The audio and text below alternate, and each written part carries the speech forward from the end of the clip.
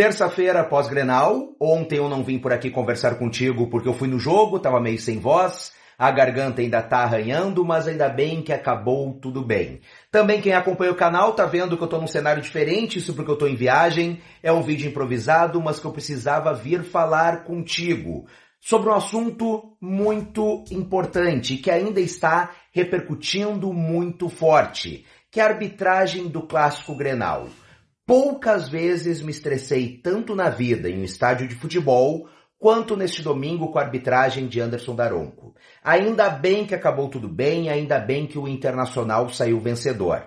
Mas tem uma coisa me preocupando e me preocupando muito. Isso porque o Grêmio já começou a condicionar a arbitragem para uma eventual final. Lembrando, o Inter é líder do gauchão, não tem mais como perder a liderança, e o Grêmio é segundo colocado, não tem como mais perder esta vice-liderança. Ou seja, a dupla Grenal pode se enfrentar em uma final do Campeonato Gaúcho. E aliás, convenhamos, pela qualidade das duas equipes, comparadas com as equipes do interior, esta é a tendência. E o Grêmio já começou a condicionar a arbitragem para uma eventual final. Começando com as declarações de Renato Portaluppi logo após a partida, que meteu o pau na arbitragem, meteu pau, meteu pau em não ter VAR na partida. Mas não parou somente com Renato. Antônio Brum, vice do Grêmio, também criticou a arbitragem tanto nos microfones quanto nas redes sociais. Alberto Guerra, presidente gremista, a mesma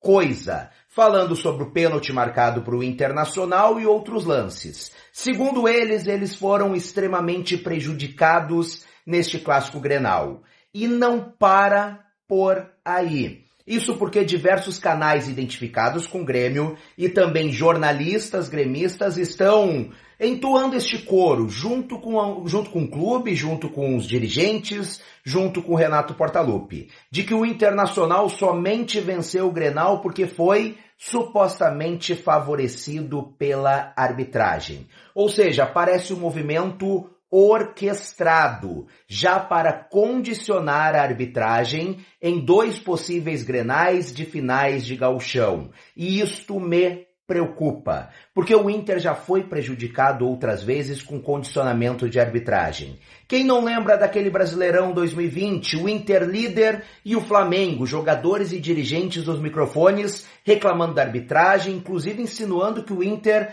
estava sendo favorecido pela arbitragem do Brasileirão. E todo mundo lembra o que aconteceu naquela reta final. Uma expulsão do Cuesta contra o Vasco em um pênalti inexistente, Aquele jogo contra o Corinthians, que o Internacional foi afanado, foi roubado pela arbitragem no jogo do título, então não é a primeira vez que isso acontece. Isto, portanto, está me preocupando. Afinal, repito, a tendência é de que tenhamos mais dois grenais no Campeonato Gaúcho. E com toda esta pressão, com toda esta reclamação pública do clube deles, dirigentes deles, treinador deles, imprensa deles, a arbitragem vai chegar extremamente pressionada em uma eventual final envolvendo a dupla Grenal. Então isto é preocupante. Tá certo, ontem o Inter deu a resposta através das suas redes sociais, postando fotos de dois lances envolvendo o Kahneman, dois pênaltis que o Kahneman teria cometido, e também colocou na sala de imprensa, ontem rodando alguns lances que o Inter se sentiu prejudicado com a arbitragem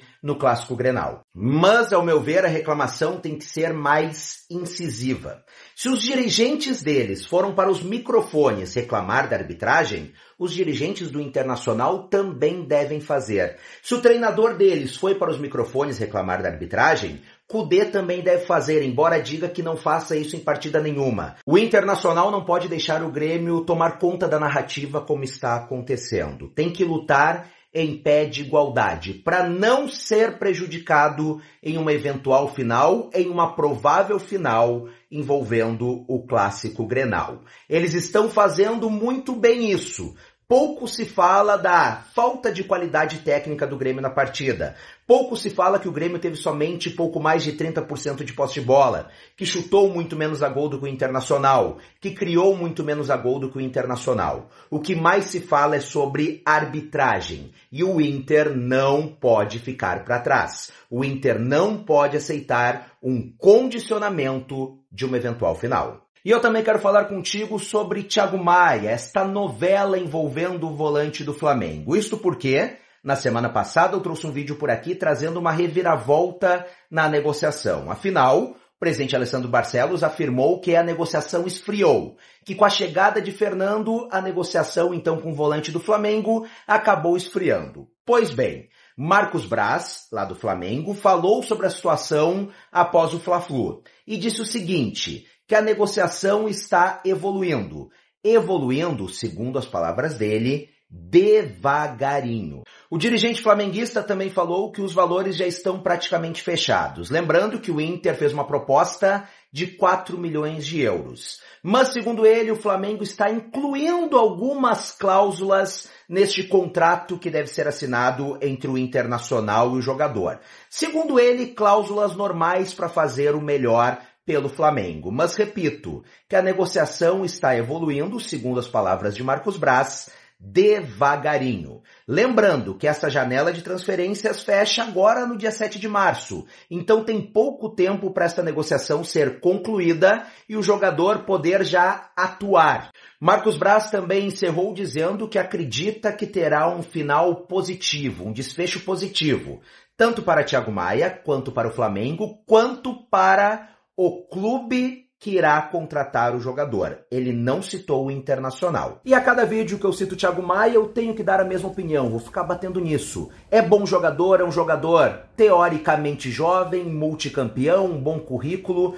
mas nós estamos falando de mais de 20 milhões de reais. Pega esse dinheiro e traz um lateral esquerdo bom de bola é muito dinheiro para uma posição que hoje o Inter já tem muitas opções. Hoje o Inter tem seis volantes no elenco, contando primeiro e segundo volantes. Repito, é bom jogador, mas o Inter tem outras prioridades. René novamente quase comprometeu em jogo importante. O Flamengo já está enrolando o Internacional há mais de um mês nesta negociação.